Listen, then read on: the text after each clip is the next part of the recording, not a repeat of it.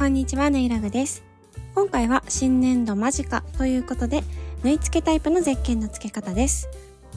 アイロンタイプのゼッケンもありますが、綺麗に取り外しがしたい場合や、縫い付けが指定されている方、アイロン接着が毎度剥がれてきてしまいもう信じられない方、参考になれば嬉しいです。それでは行ってみましょう。今回は一番手に入りやすいかなと思い、100円ショップダイソーの縫い付け用ゼッケンを使用します。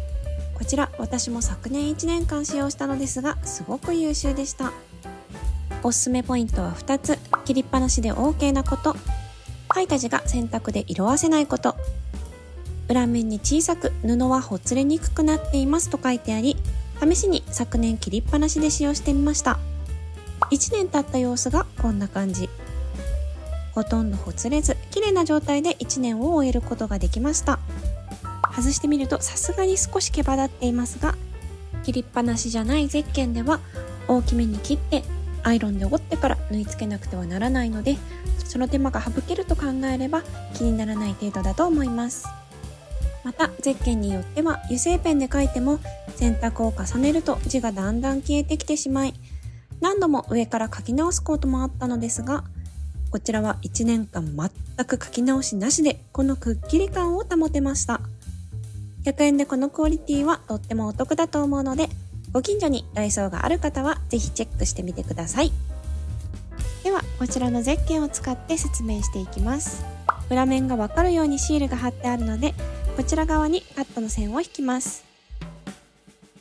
今回は 5cm×7cm でカットします。切りっぱなしが難しい生地を使用する場合は必要なサイズより縦横 2cm 大きく切ってすべての辺を 1cm 内側に折り込んで使ってください。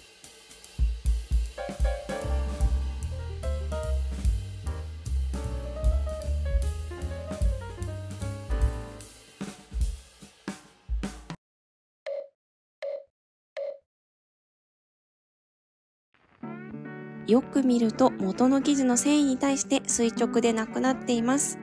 おそらく最初の大きな長方形の時点で曲がってたみたいです。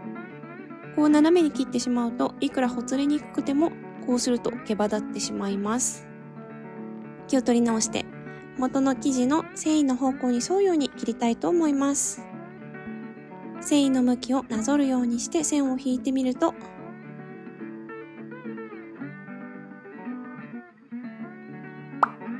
こんなに歪んでた。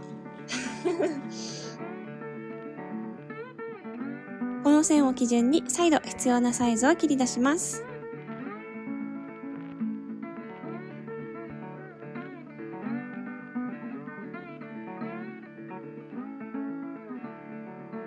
左が切り直した方、右が最初に切った歪んでいた方です。歪んでいた方は繊維が右肩上がりになっているのがわかりますでしょうか切りっぱなしで使いたい方は、こちらの商品を使う場合は、この点だけ気をつけてください。新しく切り直した方に、このタイミングで字を書きます。説明書の通り、油性ペンが裏写りを防ぐため、あとは字を間違えてしまう可能性もあるので、縫い付ける前に書くようにしてください。仮固定をしていきます。体操服のここにエンブレムがあるので、中心を合わせてゼッケンを置きます。待ち針で四隅を固定します。裏の体操服まで縫ってしまうのが心配な方は、中にクリアファイルなどを入れると貫通しないで作業ができます。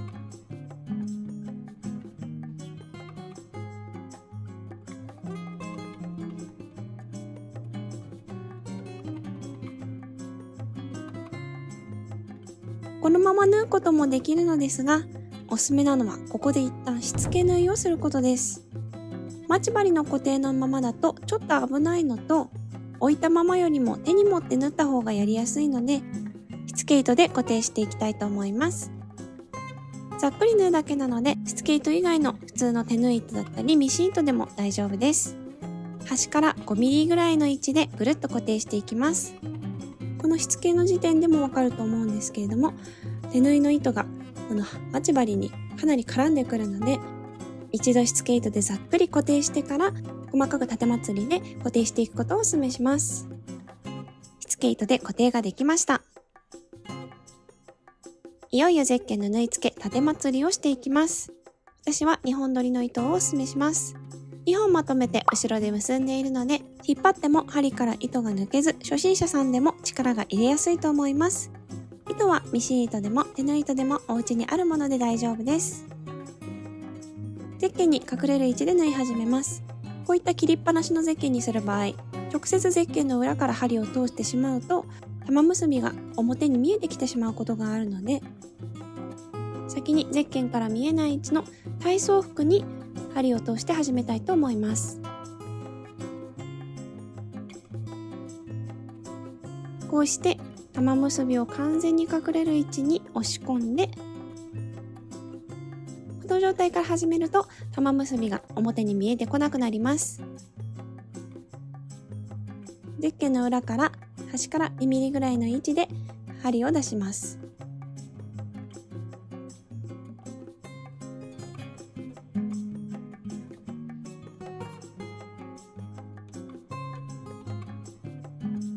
出てきた糸がゼッケンに対して垂直になるように体操服の方に針を刺します。そこからまたゼッケンの端から 2mm ぐらいの位置に3から 5mm くらいの間隔を空けて針を出します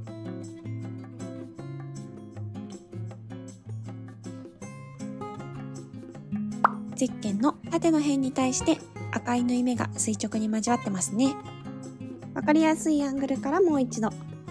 ゼッケンから出た糸が真上に上がるような位置で針を刺して斜め下に向かって針を出します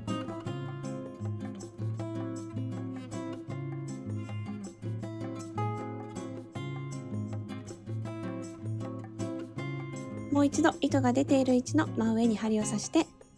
斜め下から出す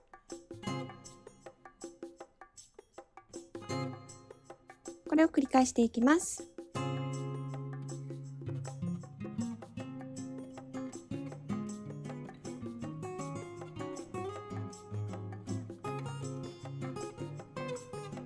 時縫い目の長さと間隔をできるだけ揃えることを意識するとより綺麗な縫い目になります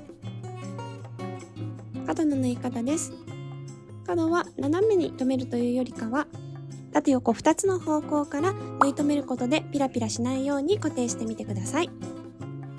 ゼッケンの端少し手前の位置から針を出して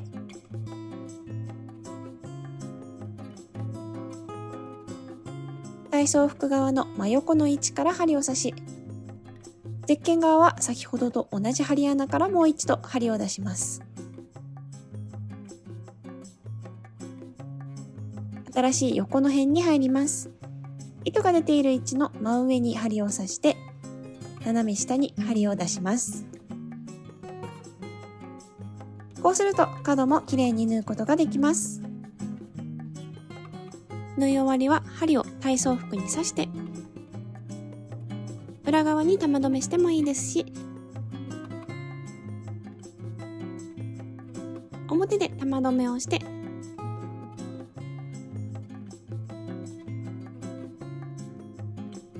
ゼッケンの隙間から針を刺して表に出し糸を切っても大丈夫です。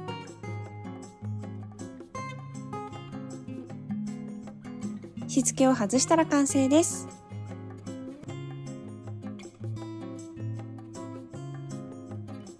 入学入園準備、進級準備、また部活や習い事での準備、お疲れ様です。よかったら高評価よろしくお願いします。皆様のハンドメイドのお役に立てれば幸いです。